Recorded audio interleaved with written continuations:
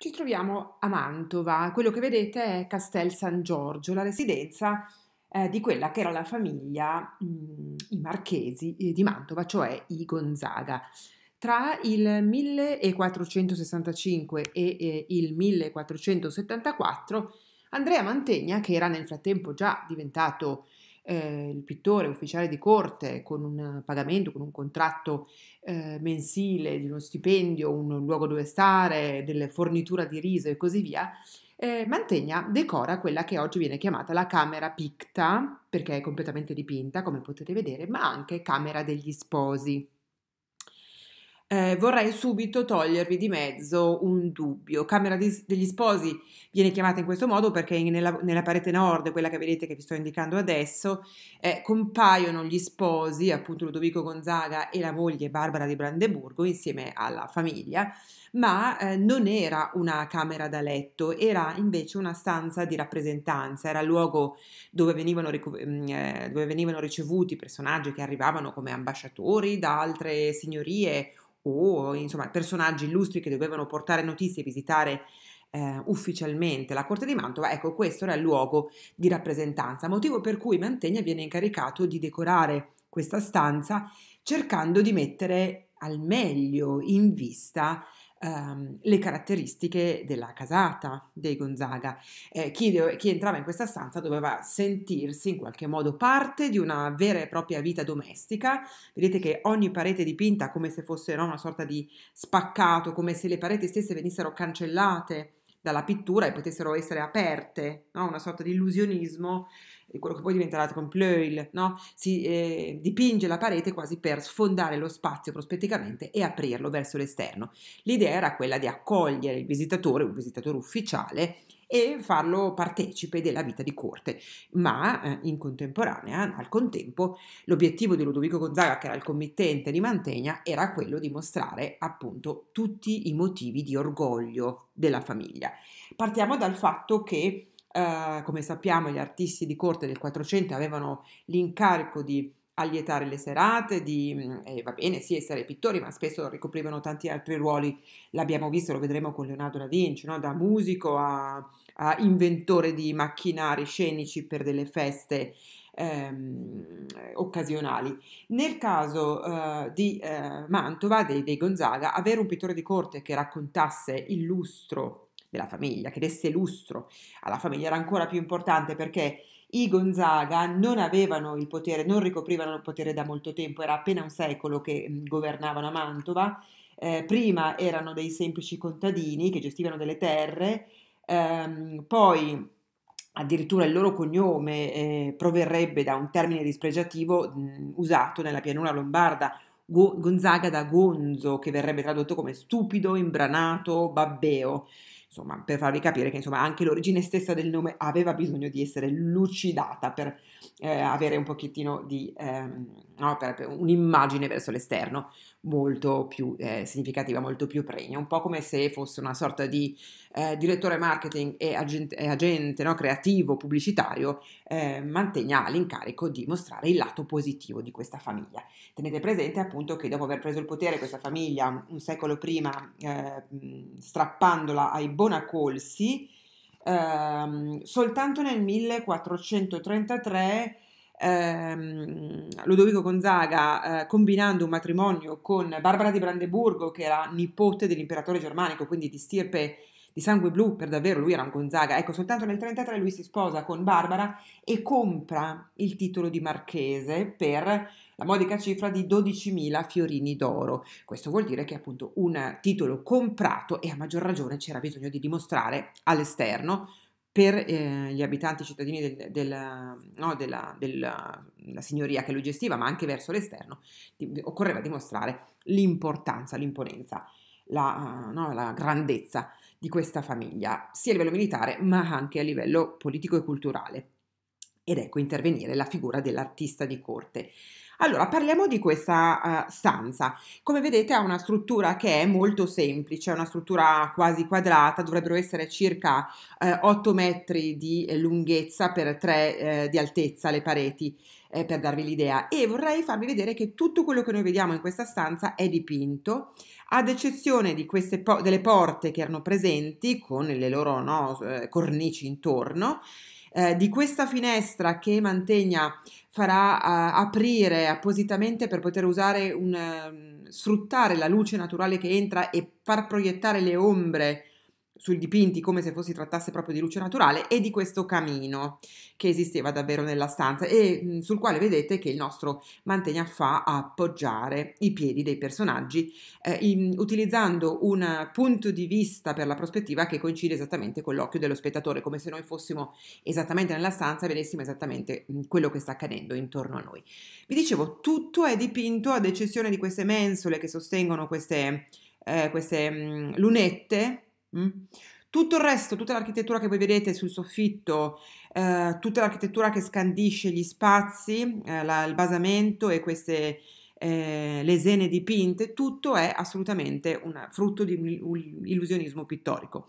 Abbiamo già visto che Mantegna si divertiva eh, con l'illusionismo, l'abbiamo visto nella Pala di San Zeno eh, di Verona, abbiamo visto che lui giocava con l'illusione, no? voleva illudere l'occhio di chi guarda, di cui guardava la sua opera ingannando, facendo capire, eh, facendo perdere no, i riferimenti, uno non guarda e non capisce più che cosa è vero, che cosa è dipinto. Quindi la, la pittura che simula lo spazio reale a tal punto da eh, passare quasi inosservata. Noi vediamo gli spazi dipinti, ci sembra di vederli per davvero. Eh, la stessa scelta dei punti di vista prospettici vedremo che è assolutamente in questa direzione, cioè noi vediamo spesso anche gli scorci prospettici, ve, ve, lo anticipo già qui, questo incredibile oculo, lo vediamo da sotto in su esattamente come lo vedremo se ci fosse per davvero questa apertura circolare sul soffitto. Ma mh, mm, per farvi capire ancora meglio vorrei mostrarvi, vedete che ci sono queste, io vi sto mostrando in questo momento una sorta di barra di metallo delle tende. Allora Mantegna dipinge queste due pareti eh, ehm, quella a nord e quella a uh, ovest, ma lascia invece coperte le altre due pareti, quelle che sono dall'altra parte. Coperte cosa intendo? Intendo dire che lui dipinge queste finte barre delle tende, sulle quali dipinge delle tende. Qui vedete che sono tende appunto che ancora sono tirate, qui vedete che invece scosta le tende, il tendaggio, quindi sono tirate, vedete anche qui, no? Tirate, come a mostrarci quasi a uno, uno, un sipario che viene aperto, quindi per farci, ci svela la vita di corte per farci entrare appunto eh, all'interno di questa, mh, mm, appunto, della vita di corte di Mantova. Vi mostrerei ancora subito, già che ci siamo, un elemento importante. Guardate questo basamento eh, decorato con dei finti eh, cerchi no, di, di, marmo colorato, ovviamente è dipinto, non è il vero marmo, ma mi serve mostrarvi questo elemento, questo basamento, perché guardate, lo ritroviamo qui dietro alle spalle della famiglia, no, del gruppo di famiglia della corte, quindi quasi a dirci che noi che siamo nella stanza e abbiamo questo basamento a nostra altezza, eh, siamo idealmente nello spe- stesso spazio che viene proseguito eh, dietro la famiglia stessa. Gli stessi eh, tondi li ritroveremo anche nella balaustra eh, dell'oculo di cui vi parlerò dopo. Um, ok, eh, a questo punto eh, vi mostro la parete eh, ovest. Di nuovo il basamento, questa è la porta vera, vedete che la, um, la parete ovest è suddivisa da queste tre lesene dipinte eh, sulla quale compare una sorta di scherzo. Vi sto, vi sto cerchiando questa parte, vedete che ci sono queste lesene dipinte con delle grottesche, dei motivi decorativi eh, che verranno, diventeranno poi molto di moda all'epoca di Raffaello, di Raffaello in poi, queste decorazioni all'antica ritrovati in alcuni palazzi romani che rinvenivano appunto spesso sotterranei. Ecco, in questa decorazione grottesca, quindi all'antica, il nostro Andrea Mantegna eh, ritrae, si autoritrae, inserisce il suo autoritratto, ecco ve lo rifaccio vedere, è qui, è proprio una sorta di scherzo, di firma e quasi a, a dirci, no, a, a, metterci il suo marchio di fabbrica. Ecco, è lui che è l'artefice di tutto questo. E in questa parete mi preme mostrarvi solo alcune cose. Ci sono vita di corte, il duca.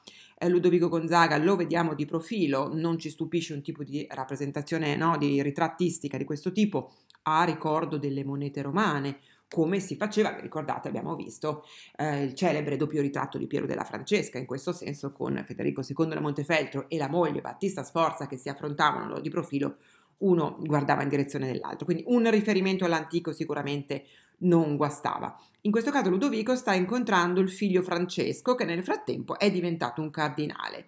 Um, nelle altre scene vedete che ci sono cavalli completamente no, abbigliati, agghindati e cani da caccia.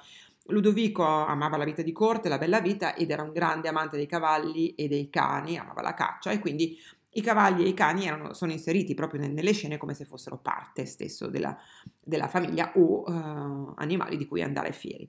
Vi mostrerei a questo punto un dettaglio invece eh, del fondo dell'incontro. Vedete appunto scena di famiglia, vari personaggi che si incontrano, un po' bloccati in questo caso no? nel loro essere raffigurati come in un istante sospeso, ma vi mostrerei il fondo. Allora, in tutte le opere di Mantegna, qui intanto vedete eh, il tendaggio scostato, in tutte le opere di Mantegna, quando compare un paesaggio alle spalle dipinto, potremo trovare un paesaggio che è decorato con una serie di elementi architettonici, di eh, edifici architettonici tratti dall'antichità.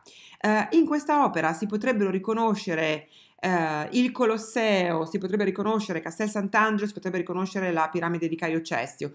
Ovviamente non erano no? sul fondo eh, dei, delle colline che stavano intorno a Mantova, era evidentemente un riferimento colto perché Mantegna sappiamo che si è formato nella bottega dello Squarcione, dove mh, c'era una grande collezione di antichità che lui aveva studiato, si è formato eh, studiando i bassorilievi e le opere che Donatello aveva realizzato quando, era, eh, quando aveva lavorato, soggiornato a Padova. Eh, e appunto Padova che era una città eh, culturalmente, no, come città universitaria culturalmente molto attiva nello studio della storia, della storia antica in particolare, insomma aveva dato sicuramente un taglio importante all'amore per la classicità di Andrea Mantegna.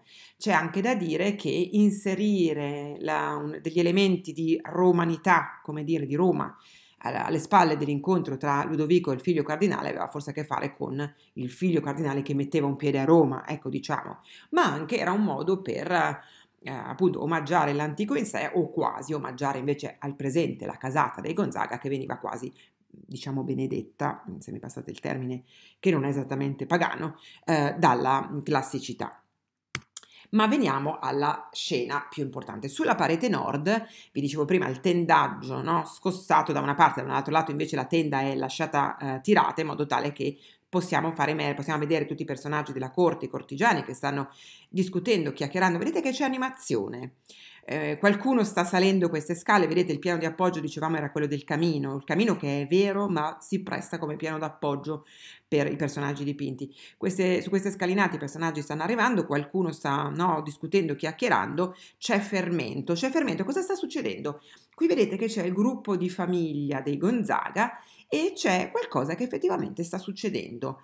Eh, è arrivato un messaggero, si è tolto il cappello e ha portato una lettera a Ludovico Gonzaga, il quale seduto sul suo trono con il suo, il suo cane prediletto, no, seduto sotto di lui, come accade sempre, chi ha un cane sa che il cane è sempre nei dintorni. Eh, ecco, questo messaggero ha portato una lettera. Adesso cercheremo di capire che cosa eh, quali sono le notizie che possono essere riportate in questa lettera. Ma la cosa eh, curiosa e interessante di questa scena di famiglia è che è molto naturale. Vedete che addirittura c'è questa bellissima figlia dei due, l'unica figlia un po' bella, effettivamente ci dicono i biografi, che era Barbarina, che addirittura volta la testa in direzione di questi no, cortigiani che si stanno muovendo, che stanno parlando, perché evidentemente rumoreggiano, fanno confusione, quindi lei addirittura è distratta dalla scena di famiglia e guarda nella loro direzione illuminata, no? col volto molto bello illuminato, e mhmm, si gira da, dalla loro parte per capire cosa sta succedendo. Uh, ingrandisco un po' così vedete meglio. I colori, come vedete, non sono molto belli, ma è difficile trovare foto che siano abbastanza eh, di qualità alta. Allora, eh, come vedete, il gruppo di famiglia ci mostra i vari personaggi. Barbara di Brandeburgo, stirpe imperiale, motivo di eh, vanto per eh, Ludovico, no? se l'era sposata ed era una donna di sangue blu discendente eh, no, della corte mm, germanica per davvero. Ma mh, mm, alla corte di Mantova ci raccontano gli storici che eh, i figli della coppia non fossero particolarmente sani, qualcuno, eh, sì, molti erano affetti da rachitismo, qualcuno soffriva anche di malaria perché i laghi intorno alla città di Mantova portavano alla, no, alla presenza costante di zanzare. Fatto sta che la bambina che voi vedete qui in basso, eh, Paola, ha in mano una mela ed è molto dolce il modo in cui, provo a ingrandirvela un po', vedete, ehm, con una mela in mano quasi chiede il permesso alla madre di poterla mangiare, quindi davvero come se fosse non certamente una scena ufficiale, ma una scena di famiglia. Eppure vediamo questi suoi occhi cerchiati, insomma una, una ragazza che si vede subito da, no, con la salute abbastanza cagionevole. Eh, vi faccio notare un dettaglio che eh, sembra molto buffo e curioso, guardate Barbara di Brandeburgo non particolarmente bella come voi vedete, Mantegna era profondamente realistico in questo, non idealizzava i personaggi, almeno non che noi sappiamo, guardate questo copricapo che indossa, questa sorta di velo che indossa su questa acconciatura particolare che le crea questo effetto orecchie lunghe che a me ricorda l'effetto orecchie lunghe del cane, ma si sa che i cani e i padroni spesso si assomigliano.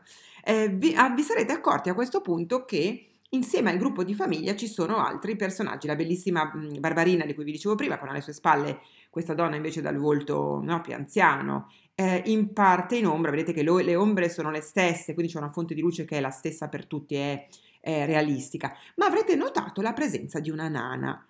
Allora, la nana di corte, che a noi sembra, no, ci fa trasalire, dici, ma come c'è una nanetta di corte, cosa ci fa lì? La nana di corte era un altro motivo di vanto per la famiglia eh, dei Gonzaga. Eh, dovremmo aspettare la metà del Seicento per vedere ha immortalato un'altra nana di corte in un'opera che sarà estremamente celebre, che è Las Peninas di Velázquez.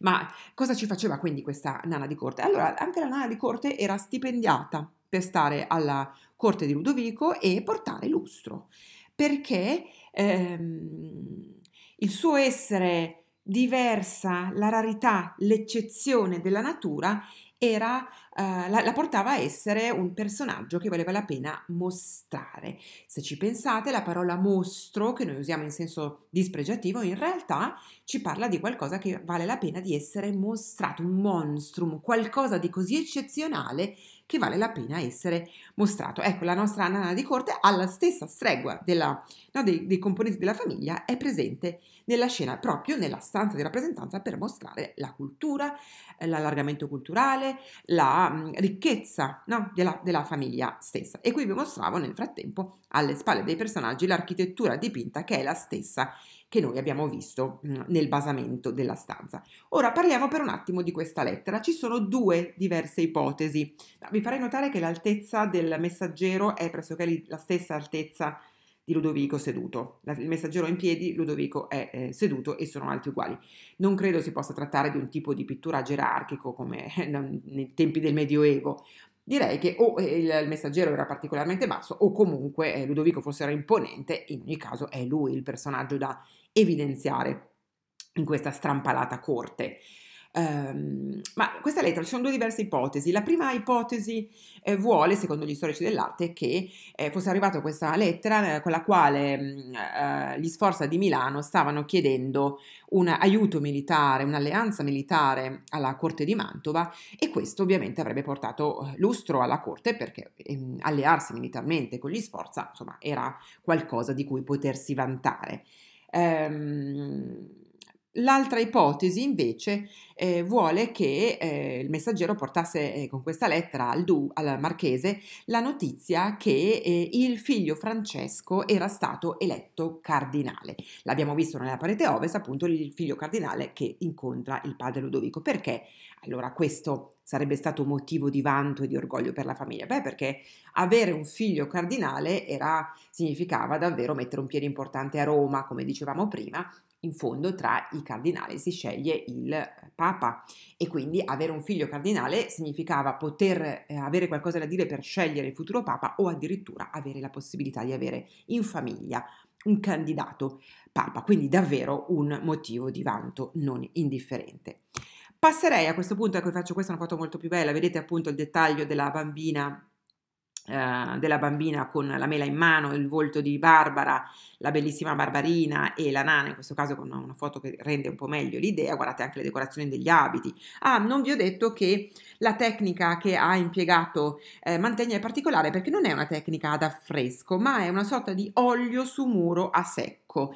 Si è mantenuta molto meglio di, rispetto al cenacolo di Leonardo, perché il cenacolo di Leonardo è vero che Milano è una città d'acqua per cui c'erano canali al di sotto e non vi ho, non vi ho detto forse che Uh, ve lo dirò quando, non ve l'ho detto, mi sono dimenticata, ehm, che la, la, parete del refettorio su cui aveva dipinto Leonardo confinava con le cucine piene di vapori, quindi anche quello probabilmente il motivo di così mh, mm, importante deterioramento.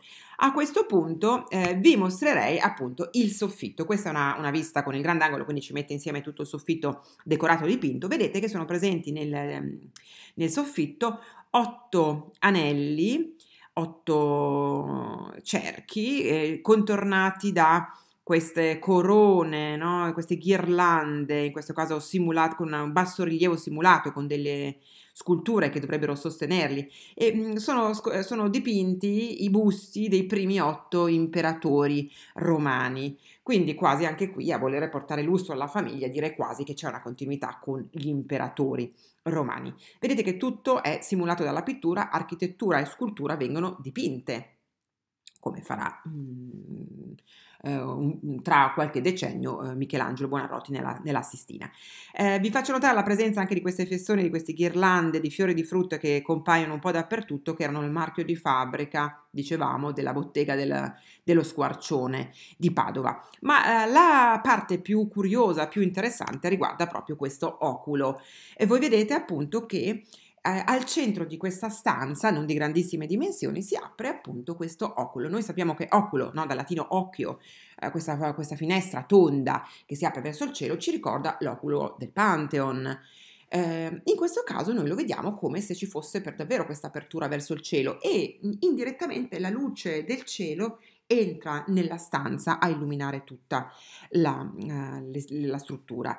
Ma voi vedete che eh, sta succedendo qualcosa, c'è animazione anche eh, in questa parte di oculo che noi vediamo con questo scorcio prospettico incredibile, fedelissimo, una prospettiva eh, fedelissima che inganna l'occhio ancora una volta. Vi mostravo prima, vedete la presenza di questi tondi nella balaustra, in questo caso non sono tondi col marmo dipinto, ma sono tondi vuoti perché è una balaustra che no, è come se fosse la, la, eh, appunto la ringhiera che deve proteggere chi, de- chi si sta affacciando um, dalla, dall'oculo stesso. E voi vedete che ha delle parti eh, bucate, questi, che questi mm, tondi sono aperti, bucati, compaiono delle mani, compaiono delle testoline di personaggi, di questi putti, vedete, che stanno giocando e insomma c'è un gran fermento qua su. Cosa sta succedendo qua su? Allora, da questo oculo si stanno affacciando alcuni personaggi, alcuni putti, vedete, con le ali, Um, alcuni, qualcuno ci, diciamo, noi lo vediamo da sotto in su, compreso anche, come dire, le, le, le pudenda e compreso il fatto che siano appunto, ci mostrino no, le,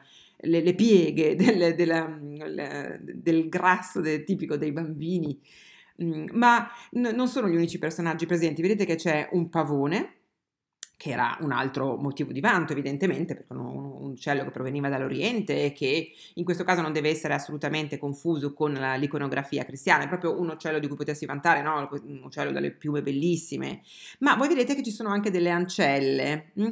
una delle quali è di colore, anche questo è un motivo di vanto, perché eh, significava che Mantova aveva contatti commerciali con l'Oriente appunto e poteva addirittura eh, contare alla sua corte personaggi che provenivano da così tanto lontano, pensate la diversità culturale rispetto a oggi. Um, ma sta succedendo qualcosa. Se voi guardate, questa ancella che noi vediamo al, al contrario ha la mano appoggiata a, una, a un'asta di legno su cui è appoggiato un grande vaso di legno che è un vaso, una pianta di agrumi. Voi sapete che le piante di agrumi sono molto pesanti e la cosa strana è che questa ancella sta tenendo la mano su questo bastone che sorregge in bilico questa pianta di agrumi, mentre tutti gli altri stanno guardando di sotto ridacchiando. Ora, eh, io credo che potrebbe succedere qualcosa di molto pericoloso e molto divertente da un momento all'altro. Immaginatevi di essere al centro di questa stanza, non ai giorni nostri come visitatori di museo, ma immaginatevi di essere no, gli ambasciatori del Ducato di Milano. Eh, siete eh, a colloquio con il, il, marchese di Mantova, alzate la, l'occhio al cielo e vedete questi personaggi che vi guardano, ridacchiano e sembrano quasi minacciare se la, se la donna toglie la mano, probabilmente il bastone eh, no, scivola e probabilmente questo pesantissimo vaso di agrumi potrebbe caderci in testa, ma la stessa cosa potrebbe accadere anche se questi putti, vedete qualcuno ha eh, un frutto in mano, sembra quasi, mh, quasi, non so, volerlo lanciare e, e quest'altro putto che ha un bastoncino in mano sembra quasi voler minacciare, no, giocherellare con il pavone. A questo punto se eh, lo stesso va a stuzzicare il pavone, il pavone si alza in volo, io mi immagino no, che possa colpire in ogni caso il vaso. Quindi le minacce provengono da più parti, ma è divertentissimo anche vedere questi dialoghi tra questi personaggini, no? questo gioco, questo divertimento. Eh, a, a, cosa serve tutto questo? Evidentemente è una sorta di eh, episodio ludico, eh, io lo chiamo proprio scherzo, no? che Mantegna ha inserito nella stanza e che però fa anche piombare una luce incredibile all'interno della stanza stessa, questa luce del cielo azzurrissimo con queste nuvole bianche. Ecco, un tocco, una firma davvero magistrali.